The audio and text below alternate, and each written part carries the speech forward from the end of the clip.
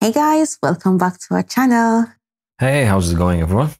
So good to be here. We're back with another reaction. We're going to be checking out Geoff Castellucci's cover for Man of Constant Sorrow. I really like that song. I've heard it from Home Free and yes, that's the only like version I know. yeah, me too. It was so cool. It was really cool. I don't know how like because I really like the home home free version. It was, was kind of like a hip hop beatboxing and It a cappella singing. So I don't know, but obviously Geoff's voice is like really good. yeah, I mean- let's see how he does it. Okay, let's go. in constant sorrow all through his days. I am a man Wow. of constant sorrow. Well, I've seen trouble on my days. Hmm. I bid farewell to old Kentucky, the place where I was born and raised. The place where he was born and raised. Oh my God. Okay, cool. You know, he puts the music in his his Yeah. tracks, which is cool. Yeah, for six long years I've been in trouble. No pleasures here on earth I've found. That's you know short drops In this to low voice. world, I'm bound to ramble. Hmm. I have no friends to help me now.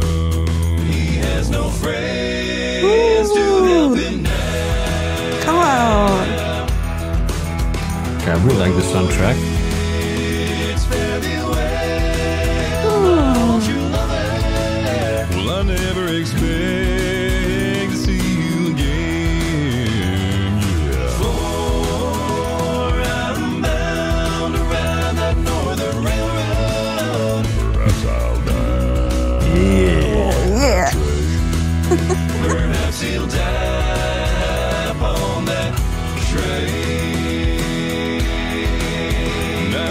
Take me to the water. Come Let on. me wash my sin away.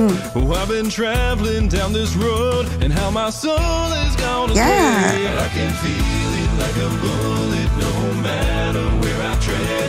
All my days I have been running from these guns within my head.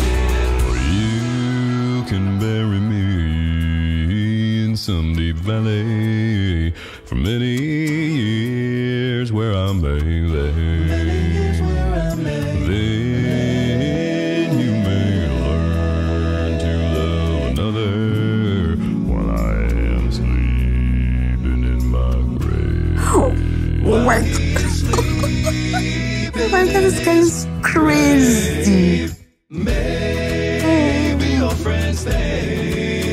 I'm just a stranger. My face you'll never see no more.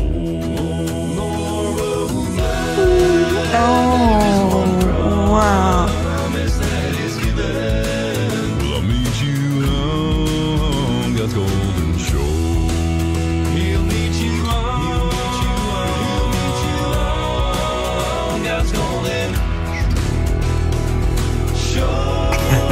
Is crazy.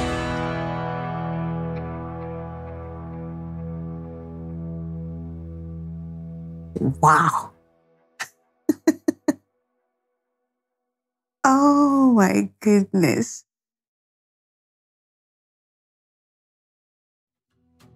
Hey y'all, thanks for watching. I should mention that the train tracks I was walking down were not in use, so please, please, please don't go walking down any train tracks near you. Trains are big and strong, Yeah. you are soft and squishy. Special thanks to my Patreon community, but especially Haldra Draco, Christy Jones, Sarah O, Laura Mueller, Patricia Schumann, Debbie Goodling, Emily Zabst, Carl and Melanie Thomas, Osa M. Lagnestall, and Dorothy Brune. Thanks again. I'll see you all soon. I think he would do like a really good voiceover artist as well. Yeah. I've never really um, heard him like talking like he was here. I think I've heard.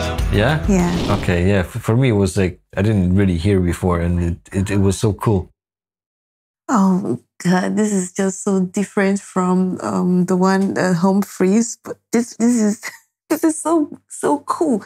I love the fact that I don't know he alone singing all those parts. It's like incredible. It's fascinating. I just don't know how he does it.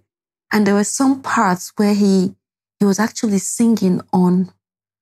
I'll say he was he was singing. Is it minor or or just parts? There was no. I don't know how to describe it. There was just something about that part where he he he just sang. It was just too different. I can't.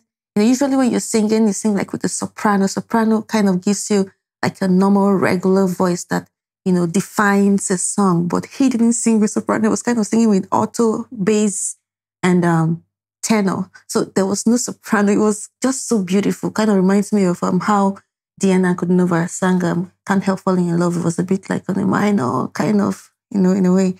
Mm. This was spectacular. This was beautiful. He did it so well. The country way. It was like a little kind of hip hoppy, but mainly uh, country. I felt like more country, you know, but this was really good.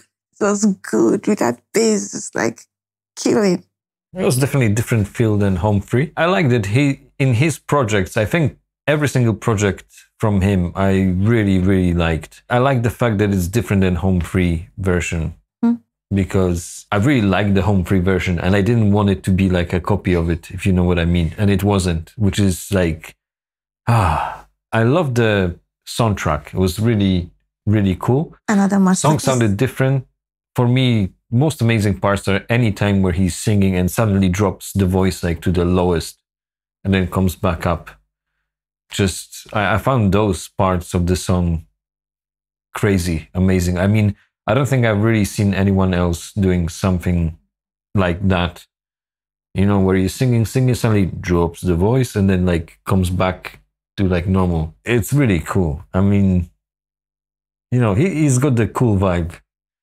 Really like cool vibe. One funny thing I realized is that scene when you had where you had four of them uh, leaning against the fence. Each one of them was wearing that um, digital, like an Apple Watch or one of those. I don't know if you noticed. For me, it was like a, I wouldn't say distraction, but out of um, place because the the whole song seems like uh, you know kind of western and you know just seeing the watch it, it reminds me like those movie scenes i don't know if it was gladiator or like one of those kind of movies where people on the third plan Hmm. wearing like a, a watch or a glasses or something that like you know from modern times and it's like once you see it you cannot unsee it so yeah that was kind of one thing that i found interesting about the video I don't know if it was on purpose or, or not, but um, I, I love the song. From the first time I heard Home Free, you know what I mean? I just like the song. And it's um very cool cover from Geoff. Yeah. Like anything he does, I always enjoy. It doesn't matter what it is. Yeah. And he does it so well. So well, perfectly. well, guys, thank you all so much for hanging and checking out this with us. We'll see you all in the next video. From us, it's bye. See you later.